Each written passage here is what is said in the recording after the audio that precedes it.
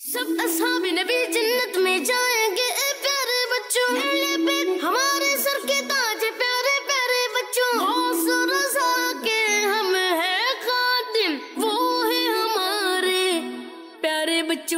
الحمد للہ رب العالمین والصلاة والسلام علی سید الانبیاء والمرسلین. اما بعد، فاعوذ باللہ من الشیطان الرجیم، بسم اللہ الرحمن الرحیم. السلام علیکم ورحمۃ اللہ وبرکاتہ. ناظرین، پروگرام اور ہیروز میں آپ کو ایک بار پھر خوش آمدید کہتے ہیں.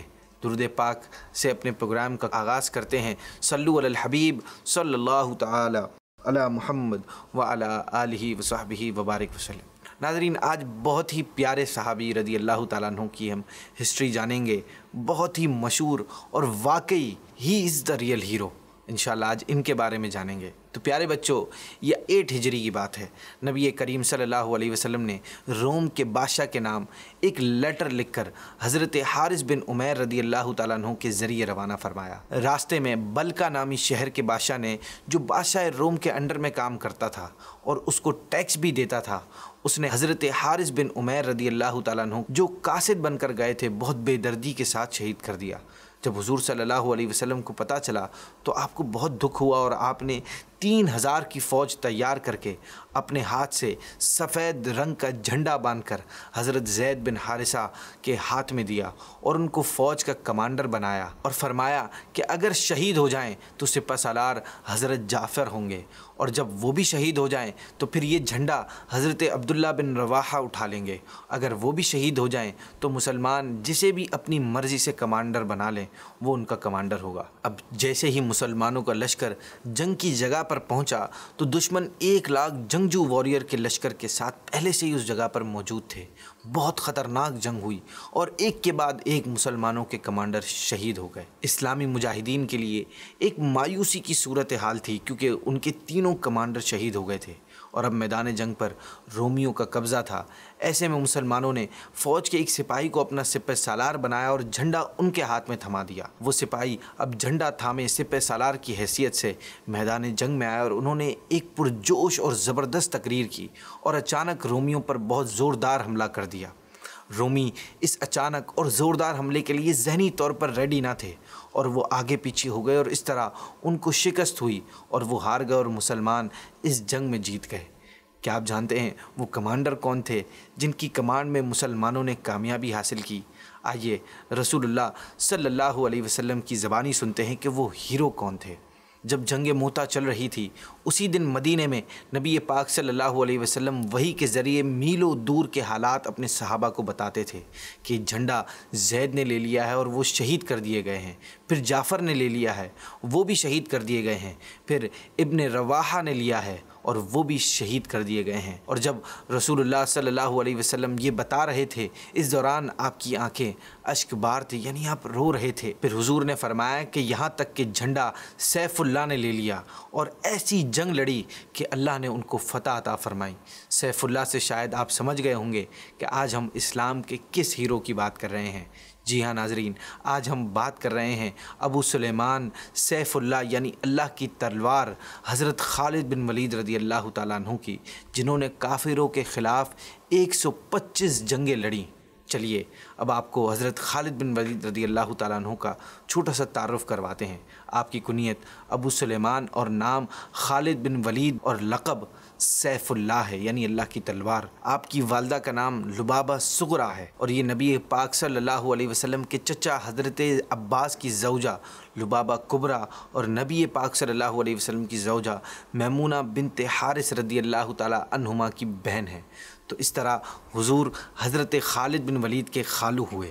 حضرت خالد بن ولید کے والد بہت زیادہ مالدار تھے، مکے سے لے کر طائف تک ان کے باغات تھے۔ ان کے مال و دولت کا عالم یہ تھا کہ ایک سال قبیلہ بنو ہاشم مل کر کعبے پر غلاف چڑھاتے اور ایک سال حضرت خالد بن ولید کے والد اکیلے پورا غلاف چڑھاتے۔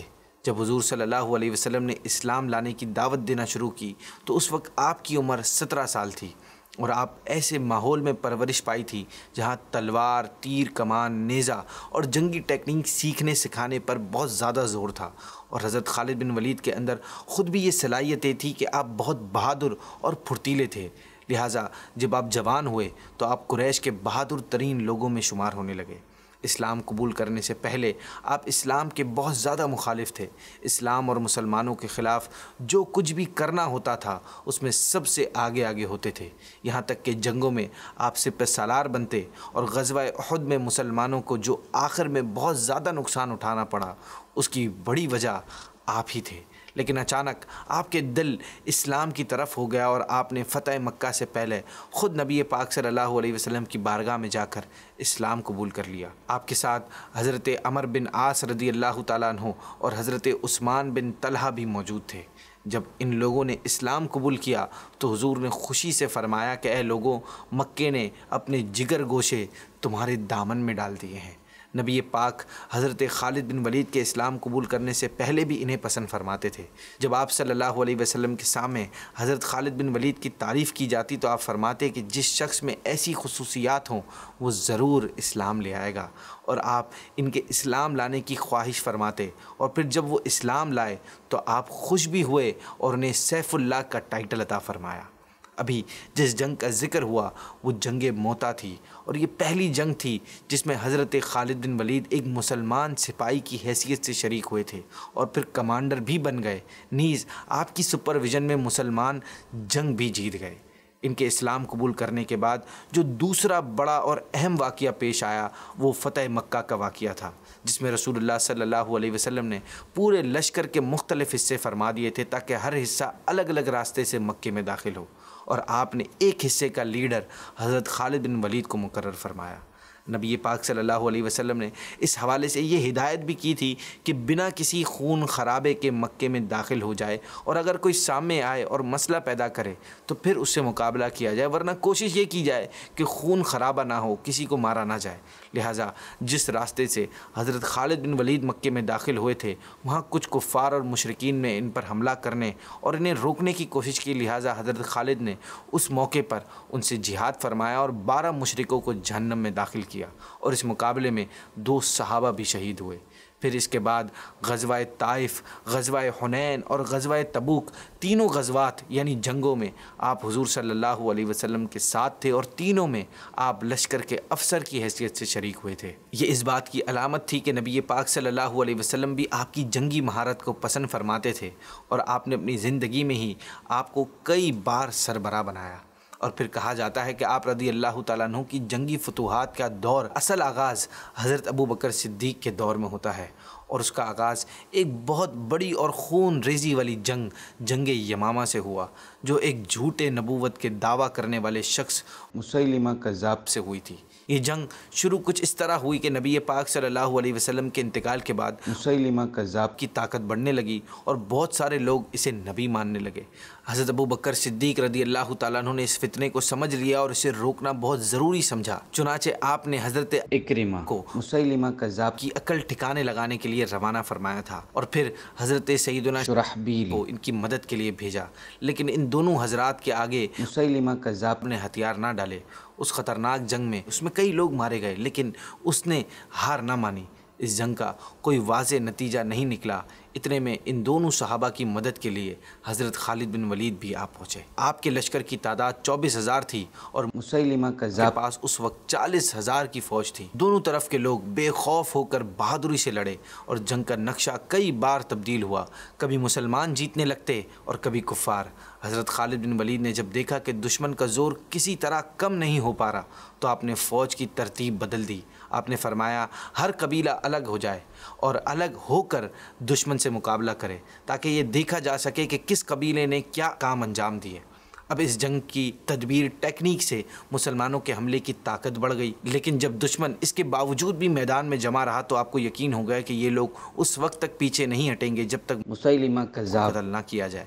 لہٰذا آپ بذات خود میدان میں تشریف لائے اور مقابلے کے لیے کفار کے بڑے بہادروں کو للکارا اور مسلمانوں کی عادات کے مطابق یا محمدہ نعرہ لگایا اور پھر دشمنوں کی طرف سے جو بھی مقابلے کے لیے آیا آپ نے اس کی گردن اڑا دی۔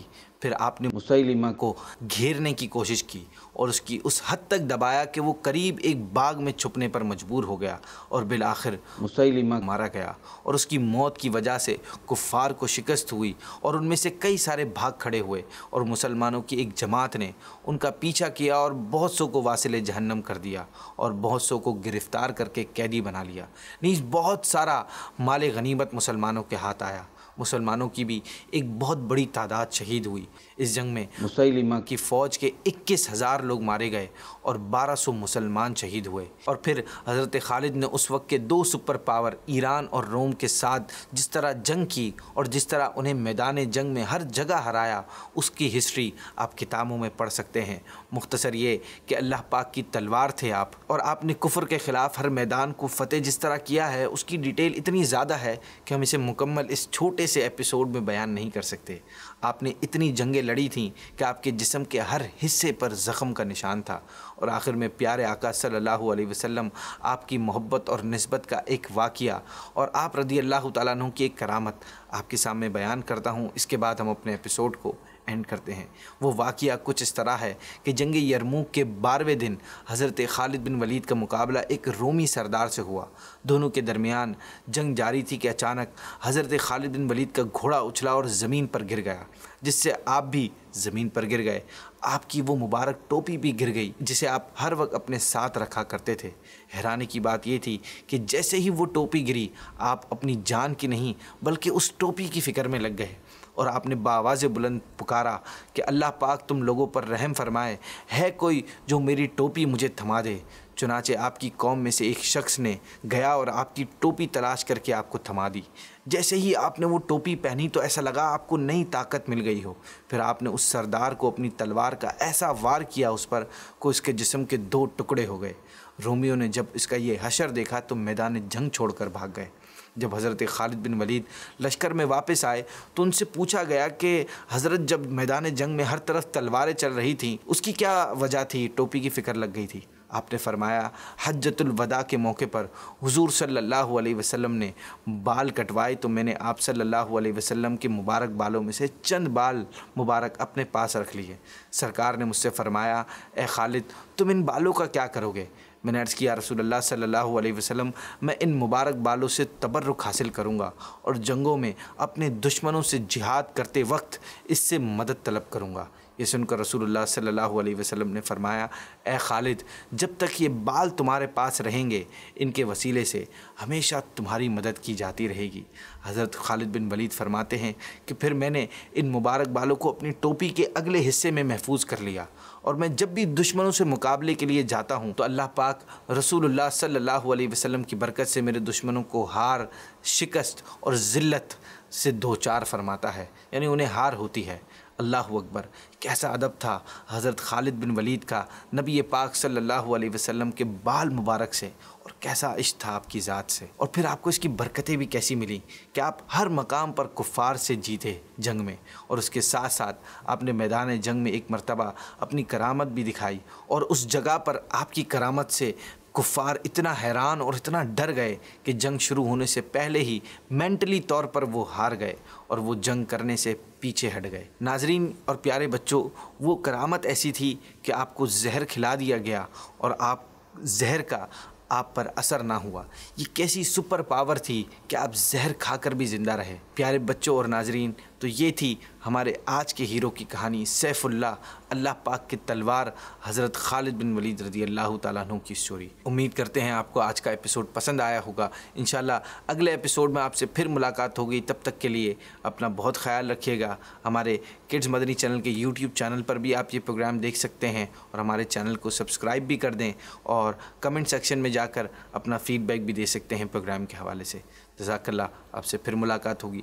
السلام علیکم ورحمۃ اللہ وبرکاتہ۔ سب اصحاب نبی جنت میں جائیں گے اے پیارے بچوں۔